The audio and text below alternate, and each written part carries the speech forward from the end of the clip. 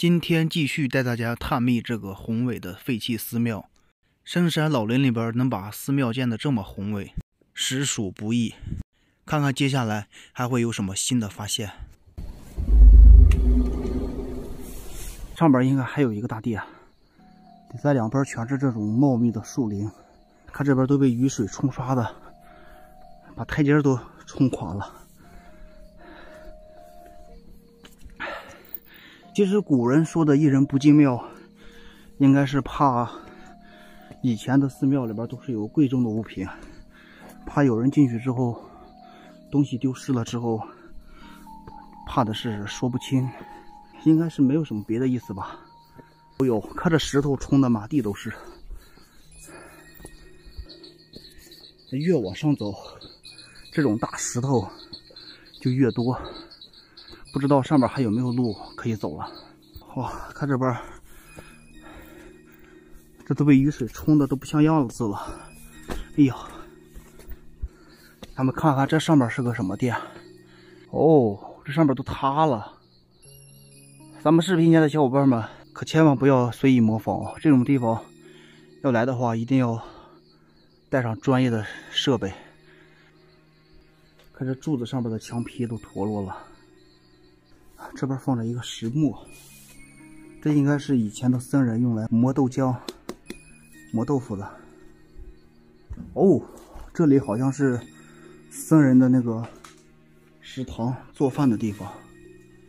这里还有毛巾呢，有人没得？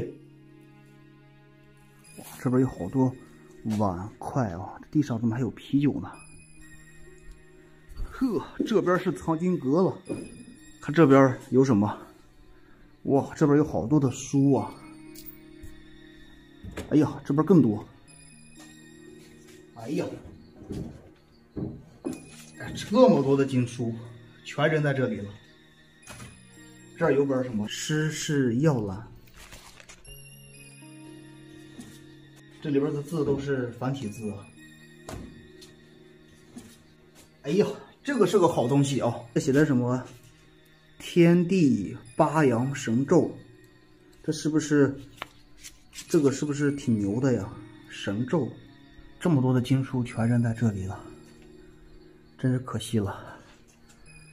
还是让他静待有缘人吧。有人没得？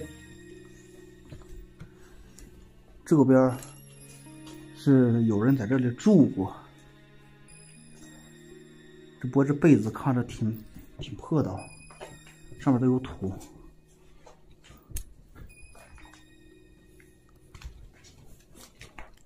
哎呦，这里边一股发霉的味道。咱们看看这个大殿里边是什么？哎呦，这这这边有一个大佛都被上面都是空的哦，里边是是泥土还有木板。哦呦，这边还有一个大殿，有人没得？太安静了，看在这边依稀还能看到一点点的香火。谁呀？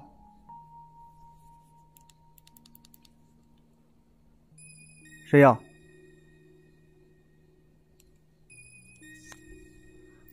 我靠！刚才这边有声音啊！我这一瞬间头皮发麻了，不知道是个动物还是窜出来一个什么东西呀？这荒郊野岭的，呀，这边还有呢，这么多，这个整个院子都已经布满杂草了。哎呦，这个最上面，最上面这个大殿，好像破的更厉害了。刚才上边都破了。刚才听到的声音，嗯，应该是房子掉下来个什么东西，应该是动物。这么破，这这也不可能有人呀！视频前的小伙伴们，你们没听到的也不要喷我，因为我现在在直播，我一边直播一边录视频，所以说你们没听到的话，有可能是没有拍录到。呀妈，这上面塌的太厉害了！现在的心跳的比较加快了。哎呦，这个上面都已经塌的这么厉害了。这是有当时的那个僧人穿的鞋子，呀，还有衣服，穿过的衣服，这上面都已经塌了。